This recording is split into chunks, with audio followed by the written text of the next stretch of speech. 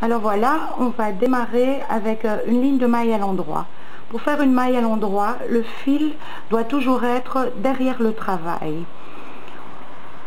On va traverser la maille avec l'aiguille droite. On jette le fil sur cette aiguille droite, on passe dans la maille et on laisse tomber. La maille est faite. Je recommence. On glisse l'aiguille droite dans la maille, on passe le fil par-dessus et on lâche. Voilà, on continue tout le rang.